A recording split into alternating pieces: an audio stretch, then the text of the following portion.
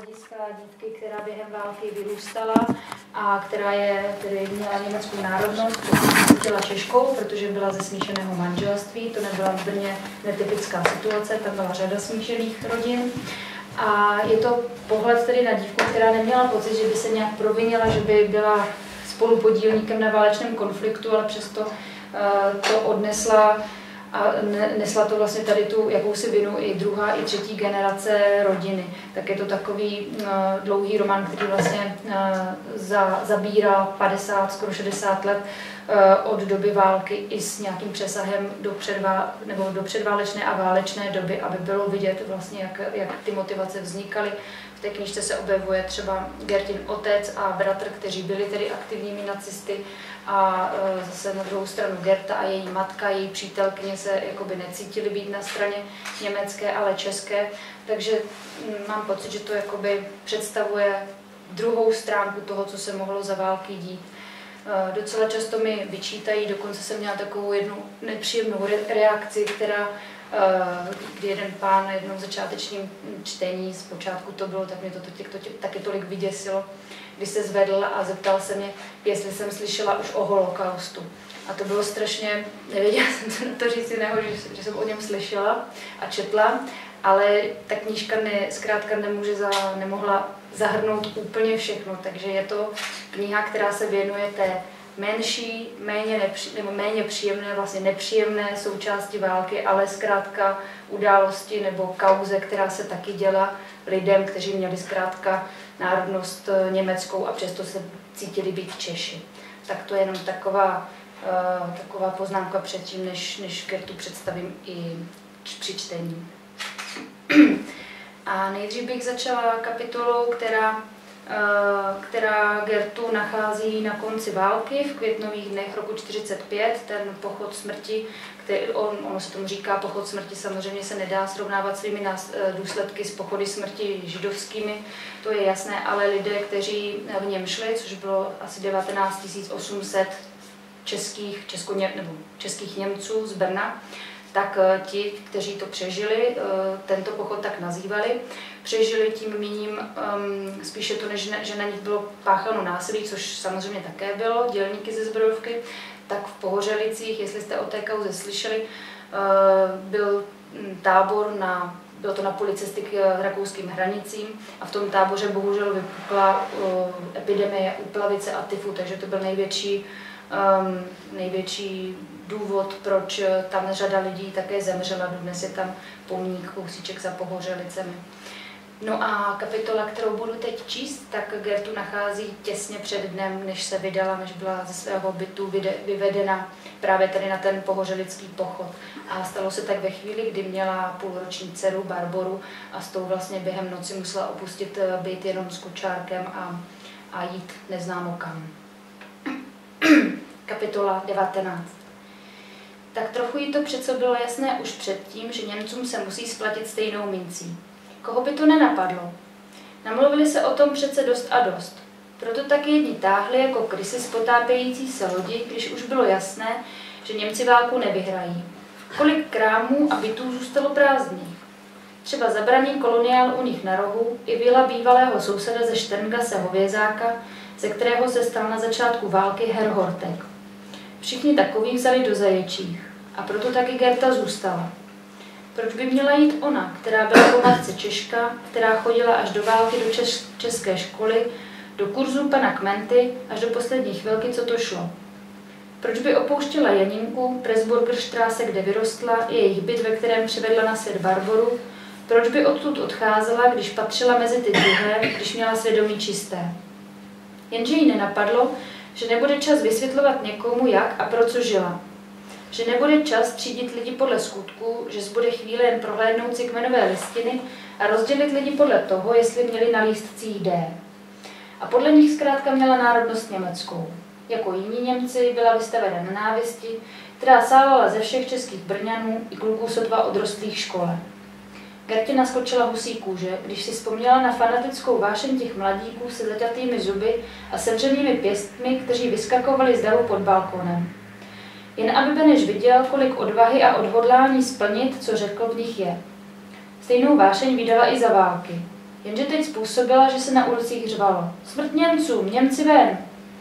Byla bláhová, když si myslela, že se bude křičet pryč s těmi, kteří jednali proti republice, pryč s těmi, kteří se provinili. Byla hloupá, když si myslela, že vášně už opadly. Viděla tam v pod novou radnicí přece pana Kmentu a v tu chvíli by u něj rozhodně nehledala pomoc. A vysvětlovat mu v tom amoku, že ona se cítí být po matce Češkou? Na koho se obrátit? Kdo jí potvrdí spolehlivost? Kdo jí sežene ten papír, po kterém se teď všichni pídí? Napadl jí domovník. Vždyť tento s nimi všechno zažil. Kdyby za ní musela docházet a nechat si líbit všechno, na co myslel, a bylo to k něčemu, vnímala by ty dva týdny jako dobu, ve které se snažila přežít. Pak by už na to nikdy, nikdy nepomyslela. Byla by ve svém bytě, který by časem vyměnila za jiný, menší, a v něm by vychovávala Barboru, našla by si práci. Nestarala by se o to, kam se poděl otec, nechtěla by to vědět. Nezajímala by se ani o Friedricha, který si to všechno přece přál, ani o Karla a jeho zhrzené city. Snad jen o Janinku tu by znovu našla. Nic víc by z války, z minulosti nechtěla. Všechno by pohřbila někde hluboko a navždy. Dva týdny za ním docházela pravidelně. Barboru nechávala samotnou na posteli, zabalenou v dece a obloženou polštáři, aby se nemohla vysmeknout a spadnout. Netrvalo to nikdy celé víc než pár minut, vracela se k ní brzy. Slíbil, že jí obstará potvrzení, že může zůstat v Brně. Slíbil, že dosvědčí, že vždycky mluvila česky, Češka z matčiny strany, že je spolehlivá, že je antifašistka. Slíbil, že se za ní zaručí a nedopustí, aby se ona s Barborou svezla s těmi, kteří hajlovali, udávali, zabírali židovský nebo český majetek, s těmi, kteří budovali říši. Řekl, že se na něj může spolehnout, protože on přece ví, jak to u nich doma chodilo. Stačilo se s ním čas od času pomilovat a počkat, až z radnice, kam dosedl nový národní výbor, přinese potvrzení o její spolehlivosti. Čekat. Zatímco čekala a pracovala na odklízení trosek, zatímco denně 14-15 hodin běhala po městě s Barborou, uvázanou na zádech nebo na hrudníku, a tak tak stihla sehnat jídlo pro sebe, byla svědkem zvráceného divadla. Ti, co se kdysi vítali s otcem styčením ruky, stáli teď úřad pracujících Němců a kopáním je nutili k větší rychlosti, nebo je kopali bezdůvodně jen tak. I Gerta jich pár slízla. Od lidí, které dobře znala, tak tak stihla uchránit Barboru. Jako by ji předtím v životě nikdy neviděli. A kdo stál mezi nimi? Petr Pitín, Friedrichův kumpán z Hitlerjugend, stručnicí, její špažbou rozbila hlavu Frau Mayer za to, jak překvapeně se na něj podívala. Pan Vlk, který se za války podepisoval Herr Wolf, a pan Mednařík s jednou rukou, za kterým, když se u nich zavřely dveře, si i otec uplivil. A stál tam také pan Kmenta a Janěnčin otec, spravedlivě trestající skloněné kostnaté hřbety horečnatě pracujících.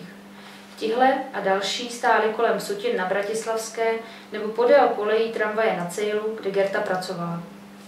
Právo v tu chvíli drželi ve svých rukou.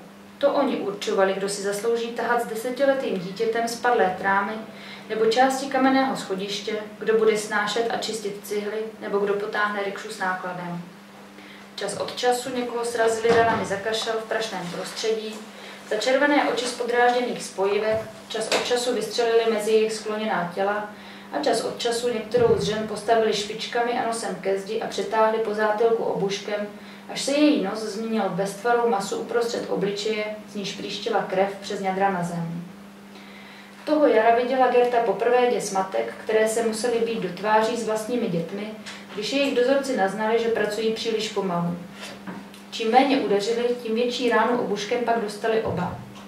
A byla svědkem zoufalství žen, kterým odváděli přímo z ruin zřícených domů dcery, aby loupali brambory Rusům nebo jim prali prádlo na nástupištích ždenického nádraží. I Gerta byla vybraná k takovým pracím a vracela se domů s rozedřenými zády a s otoky a podlitinami na stehnech podle toho, jak moc se jim bránila. Žena, která přestala být v očích Ukrajinců nebo Kazachů člověkem, ale s Barborou a živá. Na rozdíl od těch, které každý den odvedli a které už nikdo z nich, kdo se pravidelně hlásil a vracel k práci na rohu cílu a koliště, neviděl. A tak to šlo po zbytek května, kdy z domovníkových rukou přebírala čím dál menší příděly potravinových lístků s velkým vytištěným D, kdy na noc tarasila vstupní dveře skříní, stejně jako před osvobozením, kdy se z občanky Brna stala s člověkem druhé kategorie. Až do poslední květnové noci, noci na boží tělo roku 1945, kdy jí domovník zamával před očima vyhláškou. Teď vám přečtu to, co se dělo o den zpátky, čím ta kniha začíná, protože ta knižka tedy začá, začíná přímo tím pochodem, ve kterém se Gerta ocitá. Tak jsem ten pochod taky šla teda po letech, abych si vyzkoušela, jak ta trasa vypadá, v kolik hodin, kde kdo se nachází a jak to vůbec uh, zní a vypadá, když člověk jde s kočárkem noční, nočním, nez, noční neznámou cestou. Tak, uh, to, to, tak to, tohle jsem teda čerpala z tohohle zážitku. A samozřejmě z povídání pamětníků. Hrubá silnice se v kraji drolí do příkopu. Tráva prorůstá štěrkem, přes kameny nadskakují kola dětského kočáru. Levá noha jí před chvílí sjela po kluském štěrku. Kotník tupě bolí. Zřejmě si natáhla šlachu, snaží se na chodidlo nepřenášet plnou váhu. Už několik hodin jdou pomalu, jen se plouží. Skočáry těsně u sebe, čas od času se podpírají, střídají se v tlačení. Na cestu už dlouho není pořádně vidět. Jen chvílemi k ním dosáhne světlo z baterek nebo reflektorů nákladních aut, ale to se ještě těsněji přitisknou, zrychlí krok a kabátem přehozeným přes kočár zavalí děti. Nedokáže přesně odhadnout, jak dlouho už jdou, jako by jejich cesta trvala věky. Přitom se ještě ani nerozednilo, takže to nemůže být víc než několik hodin. Je unavená a její společnice také.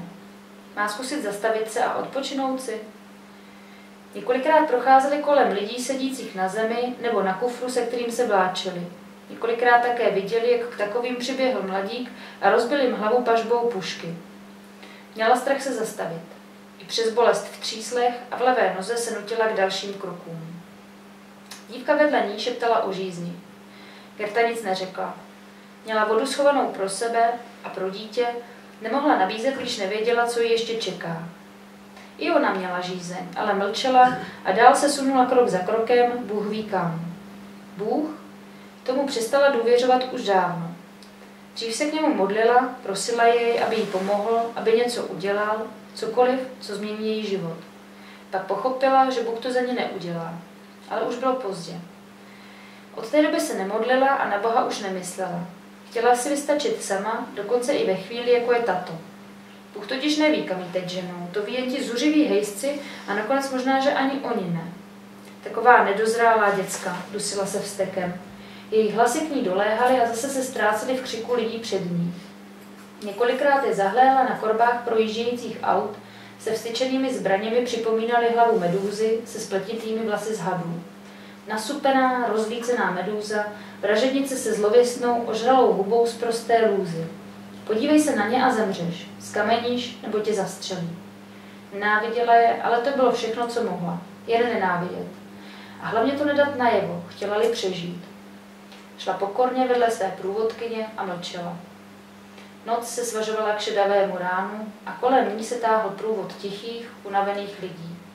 Jejich kroky, šustot zimních kabátů a polohlasem pronášená slova přerušoval jen křik hlídačů, nášky zraněných a čas od času výstřely. Pokolikáté už nebyla Gerta toho spočítat. Kde ta hrůza vlastně začala? Ve chvíli, kdy dopadaly květiny na dno matči na hrobu, už ji všichni cítili, už se to vědělo. I otce zneklidňovala, přestože stále slepě věřil. Když se na něj Gerta úkosem podívala, viděla, jak se přemáhá, jak napíná všechny svaly v obličeji, jak poulí oči a zase je skrývá za několikerým pomrkáváním, jak se snaží nebrečet. Ale měl by, pomyslela si Gerta. Měl by plakat, sypat si hlínu z matči na hrobu na holé temeno lepky, z níž mu ustupují zbyt, zbytky světlých vlasů. Měl by si ji mazat po tváři, měl by ji nechat mísit se slzami a hlavně by měl volat o odpuštění. To by měl. Ne se tu v uniformě předvádět, jak holub na hřídeli a v čestném krasopostoji sledovat, jak matčina rakev mizí pod hroudami hlíny. Neházejte ji tam, zastavte to, chtělo se Gertě křičet. Ale Friedrich její gesto zadržel. Stiskl jí paži tak silně, až se vylekala. Friedrich také nebrečí? Jak by mohl věrný obraz otců? Gerta znovu zahlédla, pohlédla do hluboké díry, z níž už jen místy probleskovala temně šedá rakev. Pohřeb byl skromný. Ale ostatně jim to vůbec nezačalo. Ten pohřeb, ten už byl pouhým článkem řetězce katastrof, které přicházely každý měsíc, rok, celou válku. A přitom byl život před ní tak krásný. A nejen její, také Friedrichův, otcův i matčin, Janinčin i Karlův, životy všech měly smysl a řád, odvíjely se pospolu, v jednotě, do budoucnosti, jejíž kontury Gerta přesně viděla. V zimě 42. kdy matka zmizela pod náhrodkem šněrchů, se však už obraz budoucnosti rozpadal. Tu poslední z jistot udusal zástup na boží tělo roku 1945, ale tomu předcházela ještě řada událostí. Tak, to jsme Gertu našli tedy v pochodu.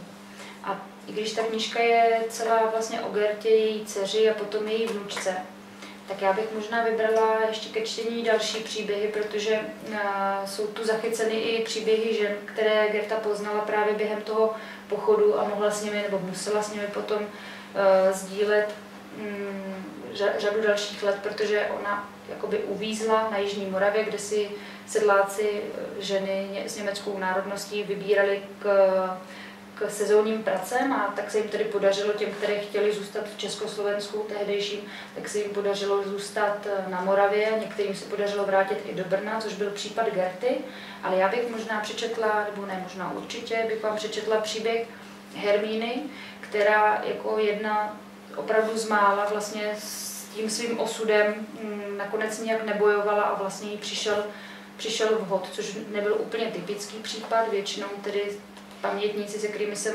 mluvila, tak eh, jim událost toho vyhnání život zkomplikovala natolik, že si předávali eh, tenhle problém až do další a další generace.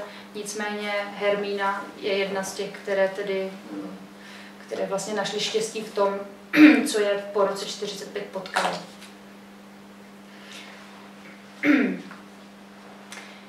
Mluví Hermína, no to je takové monologické, tak teď bude mluvit Hermína. Když si večer, než jde spát, nachystá chleba a hromádku věcí na převlečení, ušetří ráno dobrou čtvrt hodinu. To se naučila hned ze začátku, protože marná sláva, i když musela vždycky, na to ranní vstávání se nikdy nezvykla. Ani když chodila do nemocnice. Noční to ještě šlo. Co si pamatuje, spáčela nad ránem a budila se ještě za světla. Ale vstávat do tmy ráno, na to si prostě nikdy nenavykla. Máma jí říkala, že přišla na svět s prvními paprsky a že proto každé ráno to svoje narození prožívá znovu. Za tmy je ještě mrtvá, v nejhlubším spánku a teprve pak jí podvíčky pošimrá světlo, dává se její tělo do pohybu, ožívá a pracuje, skoro slyší šroubky, jak o sebe cinkají. No jo, co hold nadělá? Ranní paprsky nebudili už skoro 35 let. Od pondělka do soboty a nakonec ani v neděli to nedohání, mše začíná v 8 ale nestěžuje si. Ona, Hermína, si totiž nestěžuje. Na nic. Ona je spokojená. Sice nevstává ráda, ale jakmile polkne první doušek horkého čaje a to teplo a sladko se jí rozvíje hrtanem dolů, do žaludku, začne se těšit i na lezavou zimu. Na její zimu vějí Perné, kde má svou chalupu, kterou jí po zipfelce nechali a nemuseli se vším, jak to leželo a běželo, se slepicema i s králíkama, i se zahradou, co jí plodí překrásné velké margitky a na podzim sladoučké panenčáky, co vydrží celou zimu. A když má nachystáno už od večera, hodí na sebe jen montérky, košily, holiny, na hlavu si přitáhne šátek a do kabele hodí ten namazaný krajíc chleba a jede na kole, co si ho pořídila v 52. kdy měla konečně něco naspořeno a v kravině je opravdu na čtvrtou. A to je pak nádhera nastoupit do té obrovské maštale, která je teplá dechem krav a říkat si dobré ráno s ostatními ženskými, co tam už od třetí kmitají, i s těma, co se sem na čtvrtou sjíždějí na dojení. A dloubat se s Hervigou Lvotákovic loktama do žeber, když je na nějaké obzvlášť vidět, že vstala zadkem nahoru, a koukat se na věčně kyselý obličej hlavní dojičky Maškové, co přijíždí každé ráno z Dunajovic.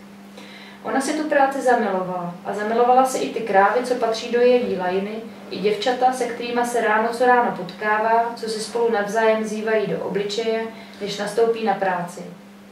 Starý hnůj už mají ženské na třetí vždycky zhrabaný od automatizace, co jim tam dali jezdící pásy a celé automatické dojení, to jde rychle.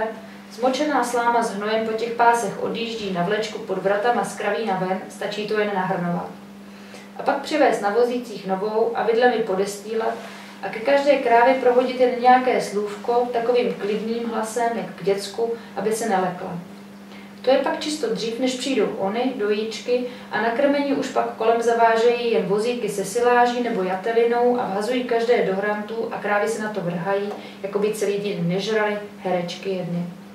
Už to zná, každé ráno se to opakuje. Mají s Hervigou dvě řady po dvaceti, zrovna naproti sobě, a tak postupují spolu.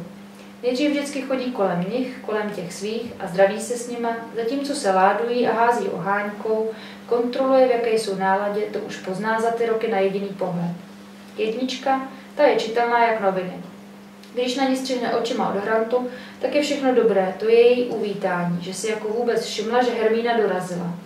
Horší je, když se ani nehne a mele tlamou ve šrotu, nevidí, neslyší, to pak u dojení nestojí a když ji na začátku dostala, i kopala. Ale to byla ještě mladá holka její, taková neskušená. Jí bylo s ní kde co. Za to teď, co jí dvakrát otelili, je krotká, prostě jak stará kráva. Tu chodí před dojením čistit jako první. Stojí hned na začátku a je čistotná, na rozdíl od jiných, které mají zadní nohy zasviněné kravěncema a oháňkou si to rozdělávají až na hřbet. Když má některá z takových svůj den, má kravěnce na kůži zaschlé tak, že se jim s nimi při hřebelcování odlupuje a strhává i kus srsti. Vždycky jim říká, kdybys nebyla blbá, tak by se vždycky zhoupla dopředu, když padá kravěnec a nebyla bys zasraná, až by tě to bolelo. Tak to totiž dělá jednička, co si Hermína všimla. Vždycky, když sere, zhoupne se dopředu, stačí trochu a kravěnec spadne do podistýlky a mine zadní nohy. A pak, že jsou krávy blbé. No jenže některé blbé jsou, to jsou ty zaneřáděné, které Hermína čistí i 10 minut, že to někdy do šesté ani nestihne a ostatní už mají posvačeno a ona si tak tak stíhá shodit rukavice. Jedou pak kolem ní z vozíky a s konvemi hliník cinká a ona žmoulá ten svůj chleba, co si ho přinesla z domu a poslouchá Hervigu, která na ní vždycky počká. Automatizované dojení se učili spolu. Hyhňali se těm šnůrám s přísavkama, co vypadaly jak čtyřnohý pavouk a se skleněnou baňkou uprostřed, co jí připomínala kapačku, když pochopila, k čemu slouží. No, smích je tehdy přišel pěkně brzo. Hned při prvním nasazování přísavek na struky krávy se cukaly a to šly od těch nejklidnějších. Omít vodou vemeno, zapnout vzduchovou hadici, nasadit levou zadní, pravou zadní, levou přední, pravou přední přísavku na struky, Přisát, držet, hadit si do konve, konev mezi stehna, nerozbít skleněnou baňku a udržet krávu v klidu. Zabralo to jim, jim to dobře trojnásobek času, než kdyby jim normálně mačkali struky do belíku. Sice je nebolely večer tolik ruce, ale záda stejně. A ze začátku ten čas, no jak říká, bylo to teda převratné. Ale zvykli si a pak to vzalo stejné dvě hodiny na 20 krav jako předtím. Teda když neměli zánět. To je pak o nervy, dodnes. Zrovna nedávno to chytla desítka. Zanítilo se jí vemeno a nasadili antibiotika. Ze dvou struků pak Hermína vymačkávala hmutu hustou jak tvaroh, kráva bučela bolestí a cukala se, museli jí s Hervigou svázat zadní nohy jak kopala a bylo to úplně o ruce. Vymačkala jí toho skoro litr, i z krví, a páchlo to, no strašně. Člověk by řekl, že by to ani ty prasata nežrali, ale žrali. Konev mléka z ostatních struků i tu tvarohovou břičku si odvezli do prasečáku té chvíli měla ještě dvě staletem, co dojili melasu, tak přidala přebytky do konve, taky do prasečáku a dojila jich vlastně jen 17. Klesla jí tak norma, no to se nedalo nic dělat. Ale ty telata, to je vždycky úžasné. Brečí, když se to konečně povede. Naposledy to přišlo na dvanáctku večer, na dvanáctku večer, Hermína měla zrovna večerní směnu, tak tylila. Veterinář už nebyl, ani vedoucí, byly na to jen ženské ze směny a pěkně to odedřeli. To není žádná sranda, vytelit to. Šlo napřed kopítkama, uvázali za ně provazy a tahali, pomáhali, dvanáctka byla celá zřícená, než tele vyklouzlo a žuchlo na slámu pod ní a placenta s vodou se vyjela tak rychle, že praskla ještě za letu a nahodila všechny ženské okolo, až byly celé mokré. Ale pak ten pohled, to stálo za to. Dvanáctka úplně skropená potem, s roztřepanýma kolenama, jak obrovským teplým jazykem líže to malé, co sotva otevírá oči. Nádhera. Teď se jí začíná běhat čtyřka. Je celá nervózní a když jí roztáhla prcku, byla celá hlenovitá, už dávala vědět inseminátorovi, že je čas ji nakrýt. Tu nechají otevřít teprve po druhé. Ona, Hermína, má tu práci vlastně ráda. Když je to dřina.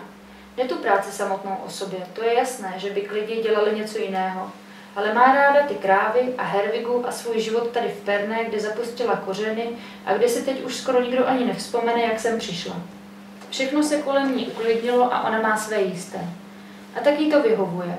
Je ráda, že nezůstala v nemocnici, nikde, ani na Anagrundu, od konce války nesnese pohled na utrpení.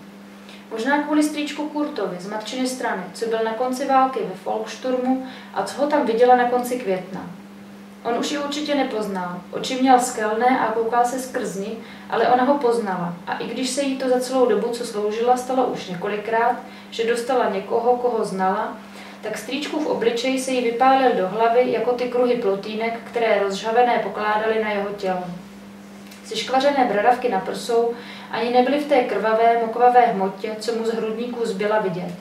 A stejně tak z pohlaví, kam mu jeden žhavý talíř taky položili. Za trest, že byl Hanlajnovec. Ona, Hermína, to věděla, všichni to věděli, ale stejně jí ho bylo líto, protože přes tu svou píchu na říši asi nic jiného než hajlování na Adolf Hitler plac neprovozoval.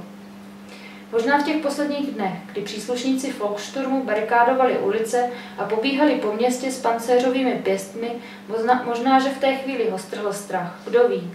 Ona, Hermína, už viděla různé lidi zblbnout.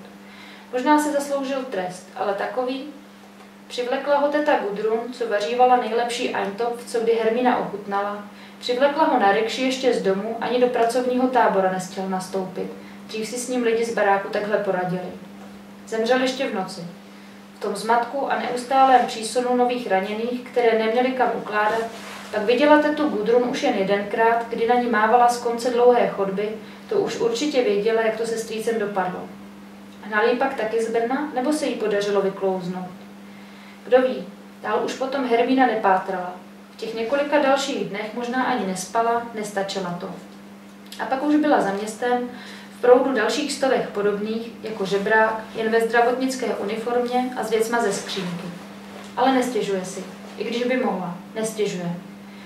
To když se dívá na Gertu, je jí líto toho všeho, co se s nimi stalo. Na ní vidí, jaké to je celý život se užírat, do jaké kůže se tu narodila, trápit se nenaplněnými ambicemi, proklínat život, který vláčí nahoru a dolů, sotva se vyhrabe, už ji zase někdo sráží a to je Hermíně strašně líto. A mě to bylo taky líto, když jsem slyšela řadu těch osudů eh, žen, se kterými jsem mluvila, abych mohla napsat tuhle kapitolu.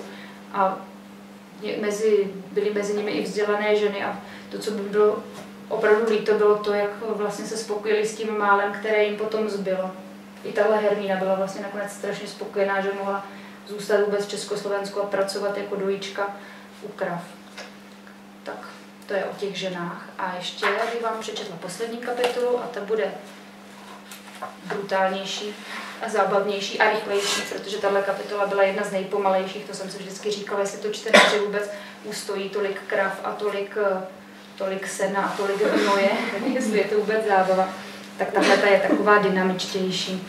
A je, e, pojednává zase o životě Gertina bratra Friedricha, e, který, jak jsem říkala, tak byl e, nacista, dokonce se teda jako rozhodl dělat kariéru, tak tohle je o jeho cestě životem. Vzpomněl se na to už dávno před smrtí, ale teprve den předtím, když cítil, že to každou chvíli přijde, zavolal ženu a chtěl, aby se k němu sklonila a chrčelí to do ucha všechno, co mohl vzkázat. Nezdálo se, že by to zvlášť zasáhlo. Představoval si, že se, potvá- že se jí po tvářích budou koulet slzy z úleku a z hnusu, ale trpělivě poslouchala a kývala hlavou. Viděl tenkrát, že by mu v té chvíli odpustila všechno, jen kdyby neumíral. Ona si určitě myslela, že to z ní mluví horečka, přesně tak schovývavě se tvářila, připravená na cokoliv. Jenže on cítil, že už to je naposled, co se mu vědomí tak zostřilo, co rozhrnul nohy, ve kterých se celé dny potácel a uviděl jasně obrysy minulosti i přítomnosti. Tak toho využil a donutil ji vytáhnout ze šuflete u postele papír a tušku, aby si mohla zapisovat, co jí bude říkat. Udělala to s předstíraným úsměvem, tak nějak na oko, jako by měla vyhovět dítěti, aby neotravovalo. Pomalu si nachystala papír a tušku, přiložila zase ucho k jeho rtu a poslouchala. Začal Gertou. Musela se dozvědět o její existenci a bylo vidět, že se jí zalekla, než to dořekl. ale jak už věděl, v tom okamžiku by mu zřejmě odpustila cokoliv. Tak jí nadiktoval celé její jméno, datum narození i místo bydliště, kde ji nechal.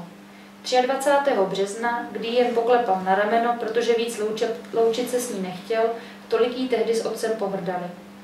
Vycházel pak vstříc ostruhám, těšil se na uniformu jako tehdy všichni, za Führera, za říši. Rukoval s vyhlídkou na frontu a důstojnické prýmky a třásl se vzrušením tak, že ani nepostřehl, jak se otec chvěje.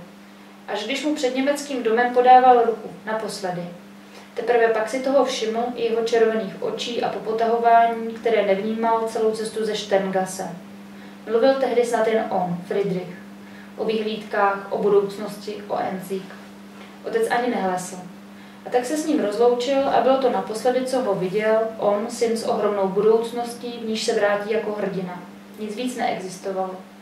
Ani dlouho poté kdy už opravdu byl na frontě a opravdu šel od jednoho povýšení k druhému. Z Hitlerjugend přišel jako Gefreiter a pak to šlo ráz na ráz. Obergefreiter, Hauptgefreiter, Unteroffizier, Unterfeldwebel, ve Volině za český malín, který v černu spálili, který srovnali se zemí, se stal Feldweblem a potom na podzim 43, když vyhladili Sergeje v Michnu, se stal Oberfeldweblem. Za rok byl Oberleutnant. Ale pak to přišlo. Začalo to brnět kolem žaludku, tak jako na začátku. Jenže tehdy byl ještě Obergefreiter a před vojáky si toho v zápalu důstojnosti ani nevšiml. Autorita. To bylo to, na co se soustředil. Aby si nedovolili ani ceknout, když zavolal, zavelel k palbě. A aby si nikdo nevšiml, že i on poliká vlastní zvratky, když si židi lehají do díry obličejem k nohám těl, těch mrtvých, aby jejich těla zabrala co nejméně místa. A to na tom byl ještě dobře. Z některých jiných se stala neovladatelná prasata, nemohli vyjít ráno střízliví a někteří prostě zešíleli. Nevraceli se domů už ani na dovolenou, protože by se manželkám nemohli podívat do očí. Nehledě na to, že by tam stejně byli hovnocoplatní, většina po půl roce jatek zjistila, že se jim nezvedne. Ani on na tom nebyl jinak. Někteří to ale nesli obzvlášť těžce, těžce a vyřešili to po svém. Do měsíce to byly tak tři, čtyři chlapy, jen v jejich okrsku v rovném. Střelili se většinou přímo do čela, do spánku nebo do huby.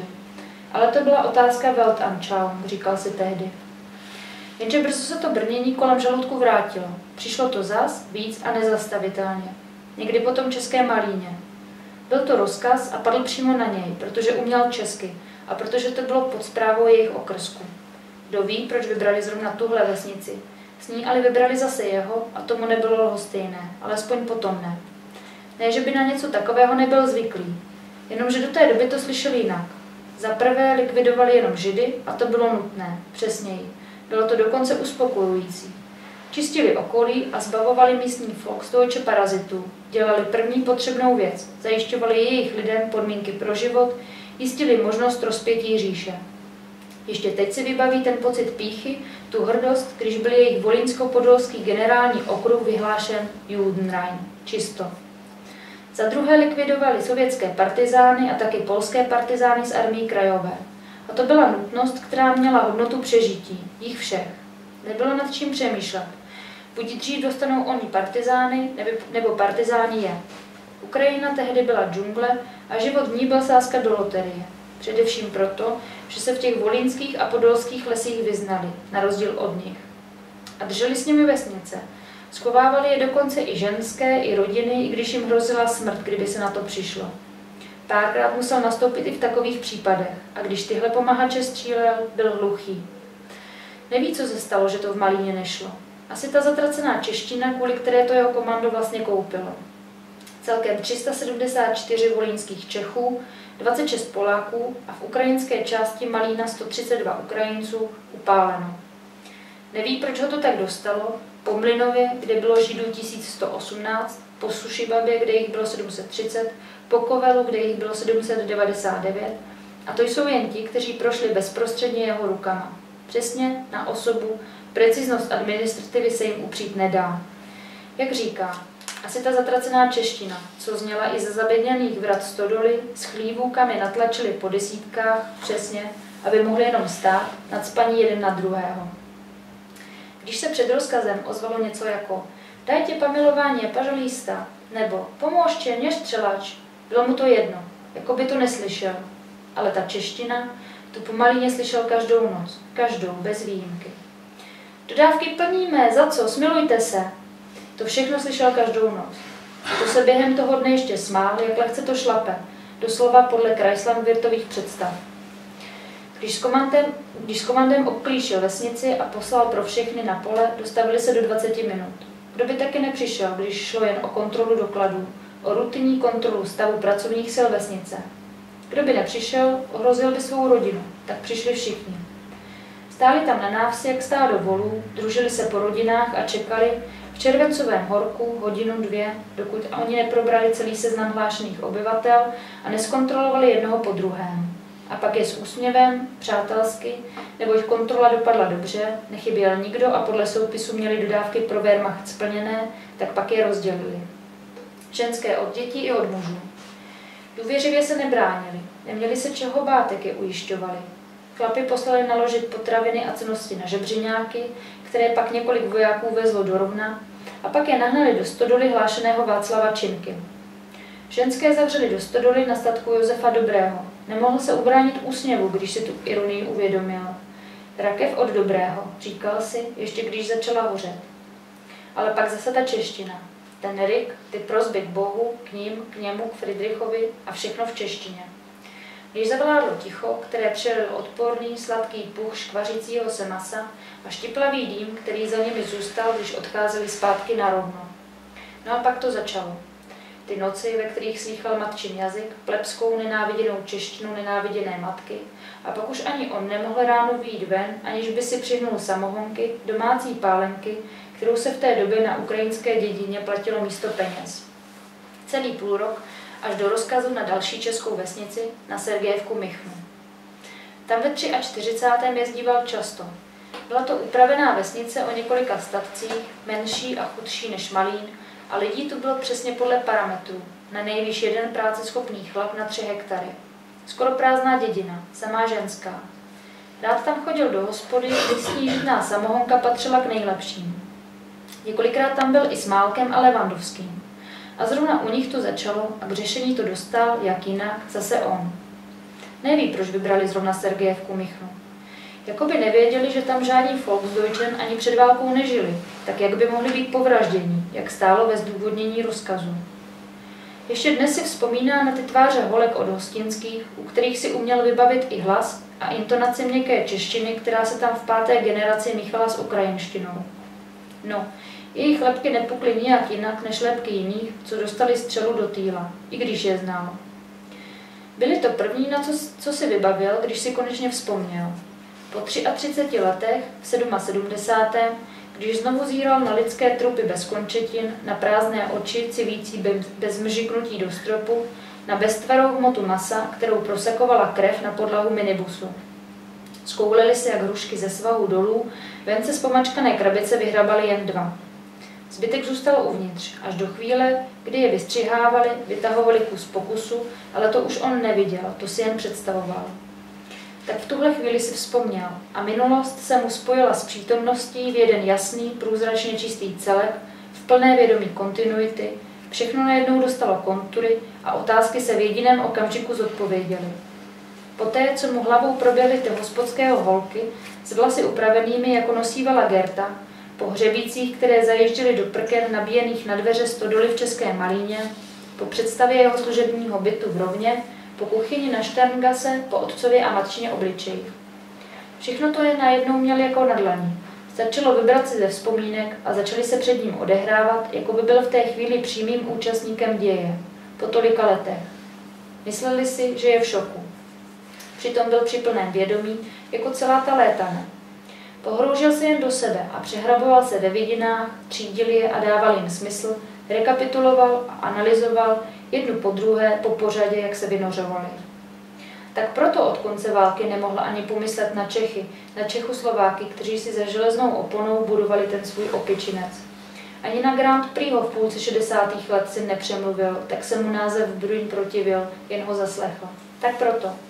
Tak proto ta deziluze po konci války, mein Gott. Nikdy se nesmířil, nikdy.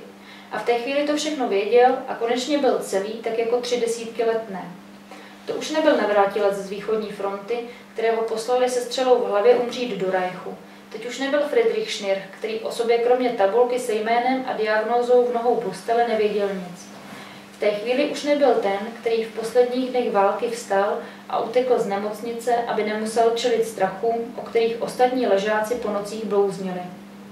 V tom zmatku posledních válečných dní se ztratil on, Friedrich Schnir, bez jediné vzpomínky a bez dokladů, tak jako mnoho jiných. Všechno jí to vyprávěl své ženě, která ho provázela celým zbytkem života. Všechno jí to chrčel do ucha, co mu napjaté hlasivky stačily. Ani nemrkla. Ani když se zbavoval tíže českého Malína a Sergejevky Michny. Pečlivě si zapsala Gertinu adresu a všechno, co jí chtěl ty poslední roky říct a nenašel odvahu. Ani zjistit, jestli to přežila. Celé ty tři dlouhé roky, co mu zbývaly do smrti. Nedalo mu to spát a stejně to neudělal, protože nevěděl, jestli by se na ně dokázal podívat, kdyby žila. Na vlastní sestru, na tu Gertu, kterou kdysi tolik opovrhoval. Nepřekročil s tím vlastní hrdosti, aby se jí dovolal a uslyšel, že to ona s matkou stály na správné straně barikády, trpitelky. Oni totiž neměli pravdu. Neměli, jen se ironii osudu stalo, že misky vach se převážely na stranu těch nesprávných, plepsů. A Hernfolk se nešťastnou náhodou ocitl zatlačený ve svých nejužších hranicích, bez možnosti dokázat Evropě, světu, tu velkou myšlenku. Čisté Evropy. Evropy, Grossraumu, říše pro Übermensch, pro obrovský germánský národ, pro který on cedil krev a cedil by zase. Pro muže organizované opratěmi dokonalého řádu a disciplíny, pro ženy oddané myšlence národa a vyššího společenského zájmu slávy Velkého Německa, pro Německo a pro Führera, který dokázal změnit svět k lepšímu. Takové byly jeho poslední myšlenky. Strávil v agónii, ve které viděl rudou vlajku s hákovým křížem na bílém poli vlád nad novou, sjednocenou Evropou už jen několik hodin. Bylo to krásné. Od dokonalých lidí ve svobodném Německu vstoupal k branám Valhaly, do rozednění obcoval s valkýrami, které měly podobu překrásné Anne Marie Judexové, jejíž tvář mu navíc než 30 let vypadla z paměti, jedl i Dunina jablka mládí a nesmrtelnosti až do soumraku bohů, po kterém měl přijít ještě lepší svět, úctivý k mužům jako on, a spouštěl se zase zpět s duší naplněnou klidem a uspokojením a viděl své místo v pavoučí struktuře řádu a byl šťastný. A takový i zemřel. Stalo se to v noci, když jeho žena pravidelně oddechovala na gauči ve vedlejším pokoji, aby byl zalitý světlým, klidným svitem měsíce říjnového úplňku. Tak vám děkuji za pozornost. To byly ukázky z Gerty, snad se vám líbily, pokud jste to ještě nečetli. A kdybyste se chtěli třeba na něco zeptat, tak, tak se klidně ptejte, ono to bude zábavnější než čtení. Děkuju.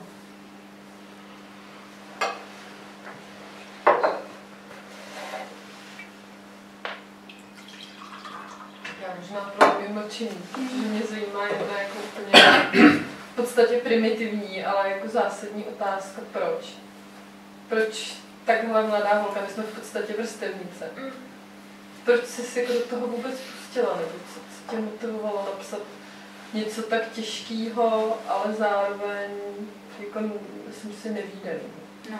Oni si většinou lidi myslí, že to je asi jakoby naše nějaké rodinné stigma tu němectví, ale není. Já jsem se naopak jakoby e, z prostředí, ve, kter, ve kterém jsme jako o takovýchhle věcech vůbec nediskutovali. Moje rodina se historii ani ničím moc jako obzvlášť zabývala.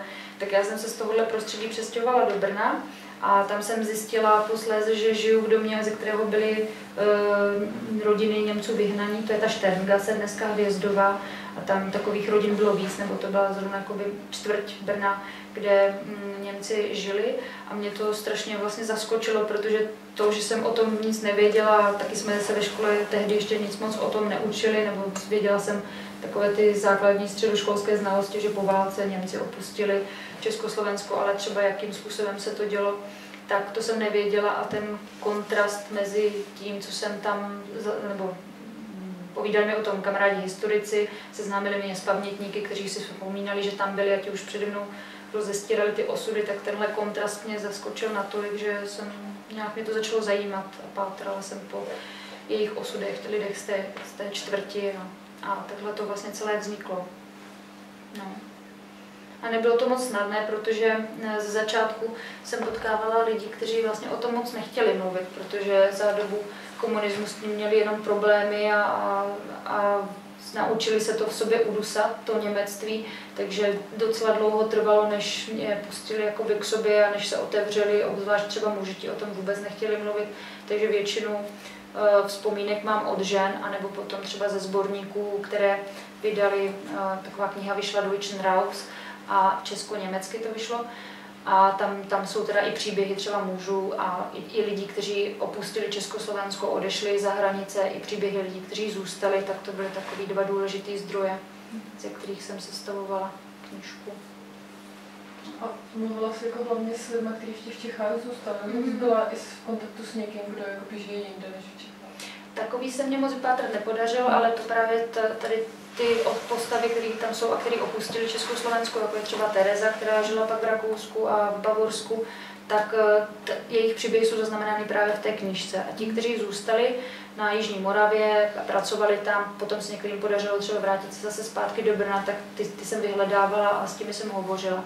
A taky jsem měla k dispozici Eh, takové deníkovo-korespondenční mm, eh, texty jedné paní, která eh, tedy opravdu jakoby měla v posledním roce války dítě a opouštěla s tím dítětem Brno. To je, to je tahle část osudu Gerty Schnirch je její.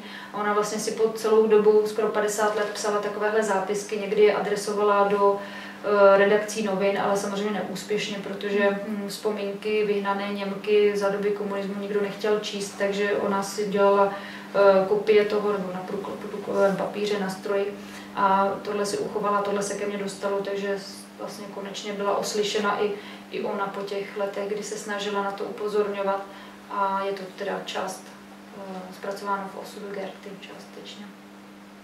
No. Nevím, jestli bych se na to troufla teďka ještě.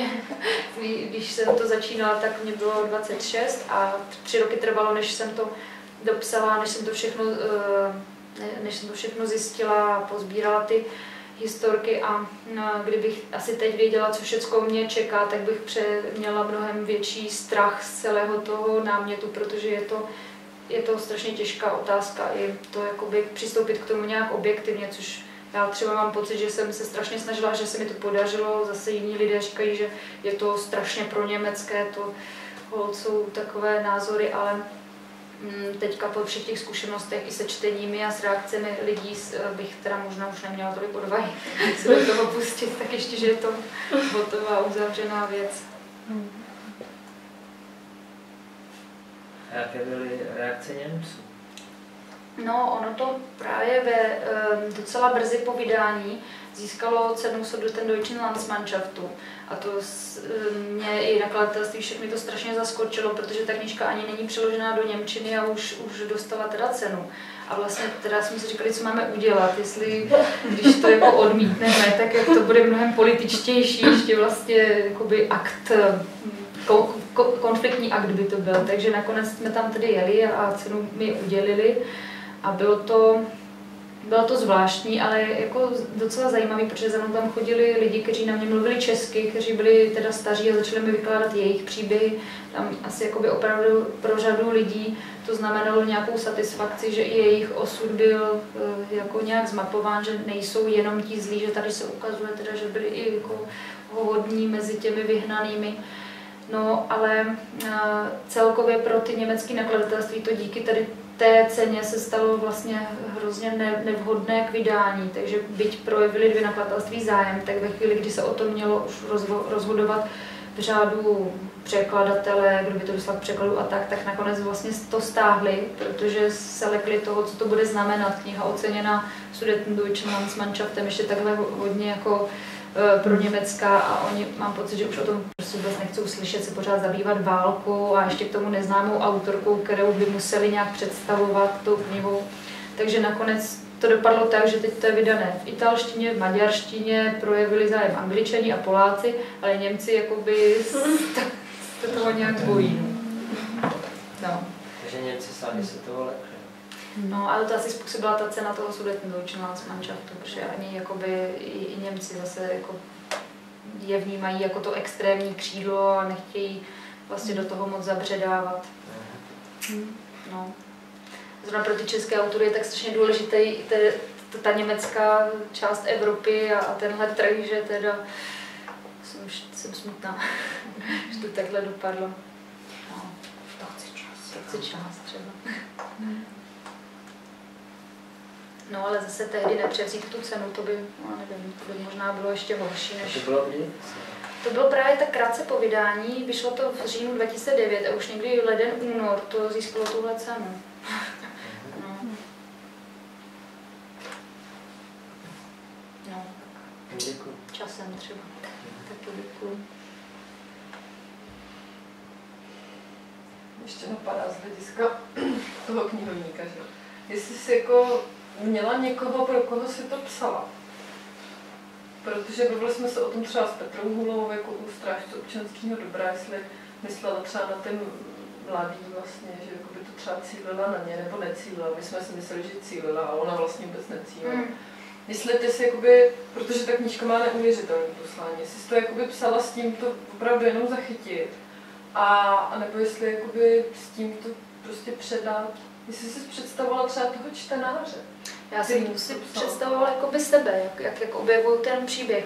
Konkrétní čtenáře ne, ani tedy pro ty pamětníky, jakoby jsem to nepsala, i když jejich reakce vlastně byly potom ty nejemotivnější, takže vlastně tam, tam jakoby to byly ti nejvděčtější čtenáře, pro které bych to teoreticky mohla psát, ale um, mě jakoby na tom fascinoval ten příběh, který je vlastně špatný, nechce, se, nechce být moc oslyšen, nechce být moc slyšen, ale to, že prostě existují takhle silné osudy, které jsem předtím ne, ne, nečetla nikde nebo neviděla zachycené, tak to, že existuje takový silný osud, že se odehrával v mým přímým prostředí, ve kterým žiju a že jsem prostě o tom tak nevěděla, tak, tak moc mě to zarazilo, že vlastně jsem si vykonstruovala příběh té Gerty vlastně tak jakoby pro sebe i, i to mapování téhle problematiky během třeba toho komunismu nebo tak všechno jsem jakoby dělala trochu pro, pro sebe.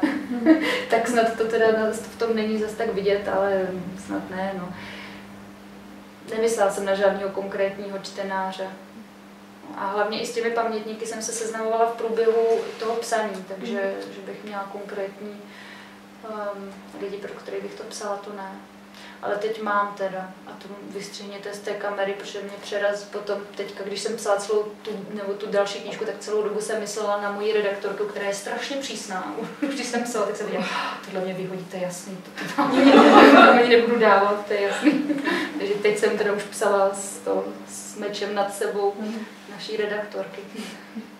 A s vydáním jsme měla problém. Téhle Gerty, jsem ne, Gerty jsem neměla problém, to vyšlo jako ukázky ve Velesu a vlastně na to konto už se o, ozval host, takže naštěstí jsem nemusela běhat s rukopisem po nakladatelstvích, to vlastně nevím ani, jestli bych dělala nebo jak bych to dělala, tak jsem ráda, že jsem se mohla vyhnout téhle, těmhle patálím začátečnickým. no. Protože ono samo o sobě, že jakoby 29-letá holka napíše knížku o vyhnání Němců, tak No, takový jako trošku... tehdy stigma. 26 letá, Tak. to bych neudělala. Je. No ne, díky, že jsi to udělala. Já, já vám skládám hold za výstavbu. Je, toho děkuju. textu A za češtinu. Za krásný jazyk. A chci vám říct, že když jsem k té knížce se dostala díky Lence, tak eh, že byly prázdniny a že jediné, co jsem vykonávala při té potřebě neustále číst, bylo venčení psa, jinak úplně všechno zůstalo, zůstalo stát. A že vám chci říct, že jsem v rozporu s vašimi autorskými právy třeba použila část vašeho textu v dějepisném semináři. Čas můžete. To, to není pro rozporu s autorským právem. Části se můžou Část. používat. Zvlášť výuce. Byla to ta část o vyhnání, ale byla, byl to příběh té idy. Eh, Probírali jsme kolektivizaci a vlastně na tom sevřeném textu hledala jsem ukázku obrazovou a zvukovou a pak jsem si říkala, a literární bude, bude tahle ta, takže To to nebo tak mi- mimo běžně To je vyhovovalo a, a ohlas u studentů byl velký. Super, tak to mám radost, to děkuju. No. To jsem si musela jakoby i sama pro sebe osahat celou kolektivizaci, o které jsem jakoby věděla, četla a tak, ale je to nějaký jiný pro mě, když si vytvořím ty postavy, které to prožívají A ještě jsem je teda dělala po, podle e, části mé rodiny, protože my jsme měli statky na Jižní Moravě a, a bylo nám to vzato, tak zrovna Ida a tí, ta, tohle, tohle okolí, tak to jsem tak nějak chtěla zmapovat i část své rodiny. To bylo pro mě důležitý. Tak to děkuji, že to dáváte studentům, číst a Já jezdím někdy po školách středních a právě s tím historikem, který mi hodně pomáhal se sbíráním materiálu, máme přednášky o době války, o konci války. A je to někdy hrozně legrační, jak se setkávám s těmi různými uh, školami. Já třeba tuhle jsem četla jednu z těch ukázek, pak jsem se tak jako zeptala, a ti lidé, kteří se jmenovali před válkou Vovězák a pak se jmenovali Hortek, se jmenují jak? K, k. A oni úplně prostě jsem to vůbec neodhadla, že ti druháci už jsou takhle, že ježiš, kolaboranti, všechno věděli, středoškoláci na dru- ve druháku. Neuvěřitelný. No, tak si myslím, že tyhle přednášky možná budou ten, abys přijela do poličky do světla. No. Pobyla tady s námi. No. Ale myslíte mi, že se jsou, abych nedávala tyhle jako zbytečné otázky. My tady máme hodně chytrý studenty, díky tady paní učitelka. Já ještě teda si můžu, mě tam naprosto fascinovalo to, že dokážete uh, jako popsat, uh, přestože asi děti ještě nemáte, jo, že ten vztah, tě, ten mezigenerační takový to, že ta Barbara nikdy jakoby nemohla pochopit, co ta máma prožila, to, co udělala, že se to jakoby nedá hmm. sdělit. Jo. To mě fascinovalo. Že? A to není tolik moje zásluha, protože jsem si nevymyslela tenhle motiv. O tom mluvili vlastně úplně všichni ti starší lidé, kteří uh, to sdělovali. A vlastně jejich dcery nebo syni, oni se mluvit nechtěli, protože pro ně to právě bylo něco takového, jako že Maria, ty moji rodiče jakoby s tím němectvím, um, nějak prostě tam došlo k takové jakoby díře mezi těmi ty dvěma generacemi. A jak jsem pochopila, tak ti, kteří to prožili, prostě nechtěli infikovat ty svoje mhm. děti tím němectvím, takže buď jim to úplně za, jakoby za, zakrýva, zastírali existenci toho němectví a té kultury v nich, takže um, potom právě třeba ta Barbora se chovala tak, že jakoby té matce nerozuměla, protože celý život tam nebylo něco v pořádku. To byl případ jedné z těch pamětnic, jiná zase se strašně snažila jako právě ta Johana, ty dvě děti udržovat v tom pocitu němectví a čekání třeba na toho tatínka a tak. To byly dva různé přístupy, ale většinou teda mluvili spíš o tom neporozumění, že ta snaha neovlivnit ty děti a ne, nepředat jim tu špatnou zkušenost mezi nimi vlastně mm, jako by způsobila nějakou díru, nějaké neporozumění. No. Takže to vlastně jakoby řeší až ta vnučka, jako mm-hmm. že má potřebu nebo že rozumí vlastně té babičce. No, no, no, no, no, až ta třetí generace se snaží pátrat, no.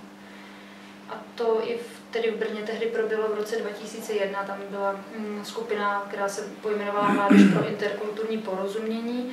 Vím, že jeden z těch vůdčích osobností byl Ondřej Liška a oni se snažili jakoby brněnské představitele nějak mm, postavit před ten problém jak se zachovat k těm lidem, kteří jakoby ne, nevinně nesli vinu za, za tu válku a byli vyhnáni z Brna a udělali nějakou petici, dokonce byla sestavena komise městem, která to měla posoudit a potom tak kulišácky vynesli ten roz, ro, to, to rozhřešení, jakože e, se neomluvili těm občanům, kteří uh, vlastně nesprav, nebo bez, bez viny nebo nespravedlivě na nich byla vykonán ten čin, že museli odejít, tak eh, ne, ne, neomluvili se jim, ale vynesli politování nad situací. Takže tehdy z toho byli všichni tady z té třetí generace, kteří se snažili nějak oby, ty osudy mm, osvětlit a docílit něco pro ty svoje prarodiče, takže byli z toho strašně zklamaný, jak se z toho vlastně to město vyvlíklo. Hmm.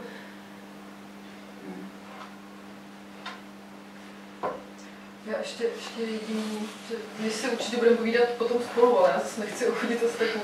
A ten pochod těch pohořet, když jste to šli, tak jste to šli jako, že až přes noc jste to šli, zkoušeli jste, že ten popis jakoby je hodně fakt, to je prostě mhm. člověk, který jako nemůže asi nikdo vymyslet, když to neprožije.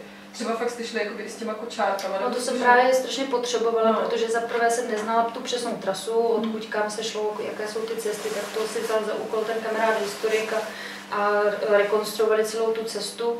A já jsem to chtěla projít právě tak jako ta Gerta, abych si to ošahala celou tu skutečnost, takže jsme se v 10 hodin setkali na mm, Mendlově náměstí, to bylo v ten čas, kdy tam tedy zhromažďovali lidi z těch bytů, které vyháněli a o tam to děti začaly vypouštět a ten průvod, protože jich bylo skoro 20 tisíc, vycházel až do, do rána z náměstí a postupoval pomalu, protože tam byla samozřejmě řada starých lidí, žen, dětí. Takže jsme i my jako vyšli s nějakým nákladem, já jsem měla ten kočárek, abych si teda zkusila, jaký to je naložený a šli jsme to asi až do, no, do 8 do rána, až do Pohořilic a to jsme šli vlastně ještě tak jako v pohodě. Mm, nechci říct radostně, ale nic nás netížilo, takže jsme tak jako šlapali a šli jsme a povídali jsme u toho. Tak a trvalo to celou noc a bylo to strašně únavný a vůbec jakoby procházet pod těmi výmoly a potokem. A... Nešli, nešli po silnici? No, my jsme se snažili jít po té staré cestě, ona tam jako by byla stará silnice, teď je tam dálnice hmm. zase, která vede, ale jako kolem toho vedou i stezky, je pravda, že jakoby jedné modřicí na tom stojí nějaký ty haly, hmm. skladiště a tak že to jsme museli obcházet, ale nevzali jsme to po silnici, to jsme si právě nechtěli ulehčit, chtěli mhm. jsme co nejblíž jako vidět tu cestu, kterou se šlo, takže jsme procházeli i dědinama, Rajhradem a tak, kde se prý zastavovali, tam někde jim i dávali vodu, někde zase byly špatné reakce, takže jsme šli i jakoby středem těch městeček a No, bylo to docela důležité pro mě, protože jsem jakoby vstřebala tu atmosféru a přišlo mi to vlastně hrozně, když jsem se otočila, viděla jsem třeba světla toho města a teď si představila, jak ti lidi jakoby nevěděli, jestli nejdou náhodou třeba jako na smrt, že jo, vůbec netušili, eh, kam jdou, co se s nimi stane. Tak to byl docela důležitý moment.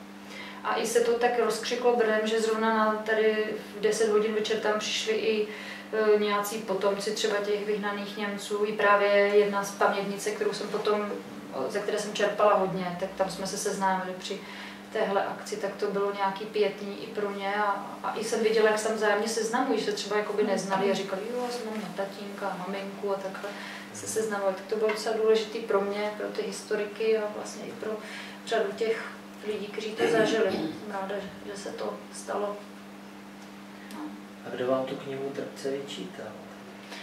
No, mm, jako by to publikum často začátku, když to bylo živý, tak na ty čtení chodili teda i lidi, kteří si to jakoby chtěli se mnou vyříkat. Jak, jako jakoby, starší generace. No, no, no a samozřejmě padaly příběhy, jako že moje rodiče to odnesli takhle, moje rodina měla s Němci, udělali tohle. Bylo to jako děsný to poslouchat, ale naštěstí se většinou i v tom publiku nacházel někdo, kdo zase měl opačnou zkušenost, že Češi udělali tohle, tedy jakoby, eh, teda lidi, kteří měli ty německé kořeny a začaly padat historky, které si byly vzájemně dost podobné a pak jakoby eh, No agrese se tak jakoby sklidňovala, ale někdy ti lidi, eh, hlavně ze starší generace, ne, nechtějí slyšet, že byly jakoby špatné příběhy nebo že se stala nespravedlnost i Němcům. No, tak tak zrovna jsem právě říkala, eh, že v minulý týden v Karlových Varech eh, tam přišel pán, který vprvu měl 20-minutovou přednášku a vyčítal mi, že jakoby můžu psát něco, co je, jako dojímá nad osudy Němců a tak, protože já teď začala říkat věci, které jsou opravdu strašné, co se stalo jeho rodině, to je jasný, ale je to pak takový blbý, no.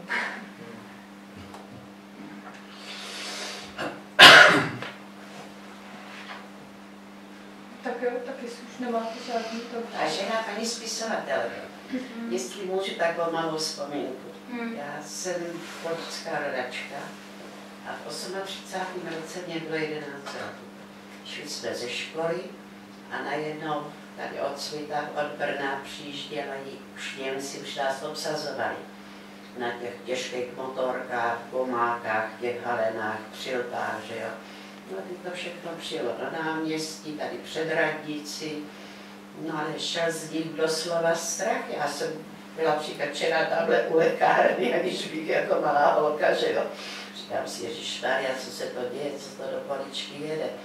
No netrvalo dlouho, přivezli tady před radnici kuchyň, Němci, že jo, začali vařit polévku, no a jako ty vždycky naše potřebné ty hlavičky, že jo, když to bylo zadarmo, tak každý hrnek konvičku, No a tak se stavěli do řady, začala fronta, no a pak už se druhý den psalo v novinách, jak jsme byli rádi, že nás osvobodili, že prostě jaký jsme měli tady hlad a že jsme stáli frontu na polévku. A to se dělo v poličce. A tak vždycky říkám, ta panenka Maria, co by nám tady už mohla povyprávět, co se tady všechno přihodilo, těch změn, ať už politických a různých, že jo. No a takže taková jenom maličká vzpomínka, hmm. jak to tady bylo v poličce. Hmm. No. no jo. Pořád ty lidi byli potřební, když to bylo zadarmo, tak takový byl to poličce čas tenkrát, 38. No. Hmm. A v tady v Poličce bylo taky eh, řada německých rodin, nebyla? My jsme byli zabrali, já jsem chodila na průkaz do školy, protože tady u křižovatky, jak je ta točna, tak tam stály už financí, že jo, tam byly drátěny ploty namotaný, tak jsme museli mít do školy průkaz. Maminka šla se mnou do kostela v neděli a ten německý voják ji stavěl, ona mě vedla za ruku a říkají, Hamzi, Hamzi Hauptschwein, jako průkaz. Ne, jak se to ten průkazka? Karte, nějaká karta, ne? Ausweis. Ausweis, pardon, ne Ausweis, Ausweis. No, už mě to utíká ta Němčina. A maminka neuměla německy a říká, jo, mám tady malý dítě, mám tady malý dítě, sobě. A já říkám, no jo, on se tě ptá, jestli máš průkaz a jestli máš peníze. My už jsme něco z té školy znali, že jo, protože jsme měli šest dní se chodilo do školy. A kolik bylo hodin češtiny, tolik bylo hodin němčiny. Hmm. A tak tu němčinu do nás jako prostě vpravili, že jo, ale bylo to dobře. Já jsem pak chodila zaměstnání chodit překládat, když přijeli k nám kamiony a to. Dělala jsem i belegru. Takže takhle, taková malá vzpomínka. Hmm. A jak vypadal 45. tady v Poličce? Staly se tady nějaké, jak vypadal 45. rok tady v Poličce? Se tady staly nějaké excesy, no, třeba teda došlo k vypořádání? Bylo drastický. To týden v tahu právě na tom svítaváku tady, akorát Rusové dohonili Němce, hmm. protože už týden předtím ty Němci hnali všechno Praha, Berlín, to utíkalo, že jo, nebo na západ, na to zem. Ve dne v noci všema směry tady kolem poličky, to měla dlažba. No a takže jako v tom 38. jsme si tady prožili. No, přijeli, tady je dohnali Rusové mm-hmm. Cvitákem, však potom tady bylo spousta vojnů pohřbených, mají tady e, na centrálce velký hrob, tam mm-hmm. je přesto pochovaný, pak byl v parku jeden vojín taky, že jo. Maminka ještě za ním z Ruska dojížděla, vždycky oplakávala ten hrob. No. A takže ty vzpomínky tady jako máme na závěr tvrdý. Mm. A rodiny odcházely třeba sami, nebo tady docházelo k nějakým odsunům? Nebo odcházeli až potom no, z transportu? Jako třeba se mnou chodila židovka tady Klajnová, že jo, a to, to prostě, ty už se nám nevrátili, to zůstalo pryč, hmm. židi, co tady byly velké rodiny židů, Šlezingru, Klajnu, Dajčů, Vícu, no jo, to hodně bylo postižených. Hmm. Smutný, takový ty příhody no, co si člověk pamatuje. Jenom já nejsem historik, jenom že jsem se o tom bavila dneska dopoledne s Tchánem a že mi říkal, že opravdu tady něco bylo, že byly zhromáždění ty němečtí obyvatelé, někde jak je Sokolov má, no nevíš, jsou nějaké... Tam, tam, no, no, no, to odjížděli, to no. schromaždiště v Poličce. A že opravdu jako tam docházelo k nějaké násilnosti. To byl Lazarec, protože nám gymnázium zavřeli. Já jsem začala chodit dárky do gymnázia. A gymnázium se zavřelo, nahoře dělali takovou červe, červený kříž jako Lazaret. No a přímo z vagónu nám naváželi Němce z fronty ranění, kteří se vozili do gymnázia. Polička opravdu to tady odnášela tvrdě. Mm-hmm. Vlásník tamhle, tam měli svoje děvčata Němci, protože oni chtěli mít čistokrevnou rasu, tak se neměli milovat s Češkama, tak jim tady navezli děvčata z Německa, že jo. Hmm. No, to všechno. Hmm. No, že to se nezapomíná. No to je... Jenom taková vzpomínka na políčku. Děkuji za to. Takové, když čekat, že to na českou historii. Hmm. že všude. No. Tak jo, tak ještě jednou děkuji za Kočkové. Já vám děkuji, že jste přišli. A přeju příjemný večer.